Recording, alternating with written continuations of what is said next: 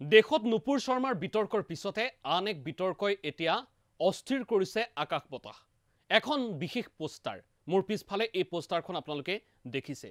আৰু এই বিশেষ পোষ্টাৰখন এতিয়া চৰ্চাৰ কেন্দ্ৰবিন্দু। নমস্কাৰ মই সমীৰণ বৰঠাকুৰ। মা কালীৰ ফটোত চিগাৰেট গুজি দিয়া এই পোষ্টাৰখনক লৈ আমিও আলোচনা কৰিব বিচাৰিছোঁ। কাৰণ পোষ্টাৰখনক লৈ এতিয়া বিভক্ত হৈছে হিন্দুসকল। একাংশই সমৰ্থন কৰিছে আন একাংশই বিৰুদ্ধাচৰণ কৰা পৰিলক্ষিত হৈছে। তাৰ মাজতে টি এম চিৰ নেত্ৰী মহুৱা মৈত্ৰাই কৈছে মাংস খোৱা আৰু সুৰা গ্ৰহণ কৰা দেৱতা হৈছে মা কালী। লীনা মণি মেকলাই এই তথ্যচিত্ৰৰ জৰিয়তে কি বুজাব বিচাৰিছে? হয় মা কালীক বহুতেই ক'ব খোজে যে ৰক্ত বা সুৰা সেৱন কৰিছিল। কিন্তু তাৰ প্ৰতীকী অৰ্থ বুজাবলৈ চিগাৰেট এনেধৰণে গ্ৰহণযোগ্য হয় জানো? দক্ষিণেশ্বৰৰ কালী মন্দিৰৰ কৰ্তৃপক্ষই বিতৰ্কিত ছবিখনক লৈ প্ৰতিক্ৰিয়া ব্যক্ত কৰিছে। এনে কাৰ্য গ্ৰহণযোগ্য নহয় বুলিও উল্লেখ কৰিছে। তেওঁ উল্লেখ কৰিছে যে আমি সকলোৱে মা কালীৰ উপাসক। হাতত চিগাৰেট লৈ হিন্দু সম্প্ৰদায়ৰ অনুভূতিক আঘাত কৰিছে। বহু ঠাইত মাক সুৰা দিয়া হয় আৰু ছাগলী বলি দিয়া হয়।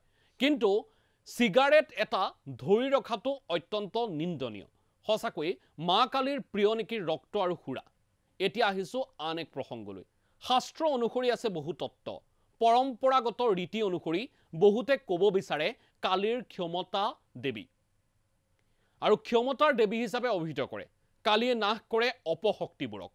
শাক্ত তান্ত্ৰিক বিশ্বাস অনুসৰি তেওঁ সৰ্বোচ্চ ব্ৰহ্ম। কালীমা আছিল উগ্ৰ আৰু ৰক্তপিপাসু। অৰ্থাৎ ৰক্তপিপাসু বুলি আমি যিধৰণে ক'ব বিচাৰিছোঁ সেয়া আছিল যিধৰণে আচলতে তেখেতে অপশক্তিবোৰক নাশ কৰিছিল সেই সময়ত হত্যালীলা চলাইছিল। আৰু এই সকলোবিলাক বিষয়ক লৈ ৰক্তপিপাসু বুলি কয়।